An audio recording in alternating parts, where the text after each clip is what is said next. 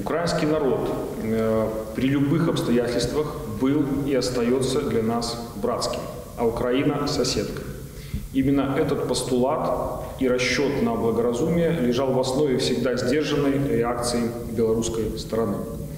Э, Но за гранью нашего понимания находится недавнее действие представителей украинских властей в отношении ни в чем не повинных э, белорусских граждан, не по своей воле оказавшихся в зоне конфликта, конфискации имущества, хамское обращение с м, дипломатами, с белорусскими дипломатами и членами их семей на контрольно-пропускном пункте Могилев-Подольский.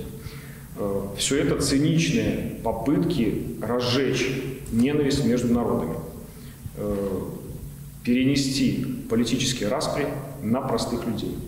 Э, Мы э, такого никогда не допустим.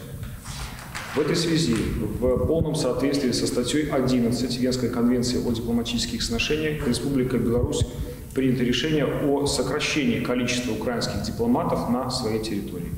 Данный шаг направлен на прекращение недипломатической деятельности ряда сотрудников украинских загранучреждений.